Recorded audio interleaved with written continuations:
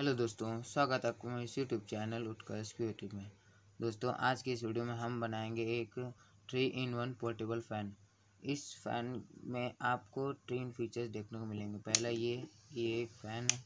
दूसरा, इसमें एक लाइट भी है, जो कि काफ़ी अच्छी रोशनी देती है। और तीसरा, इसके मदद से आप अपना मोबाइल भी चार्ज कर सकते हैं। तो दोस्तों, चलिए, चलते हैं इसके मेकिंग पर।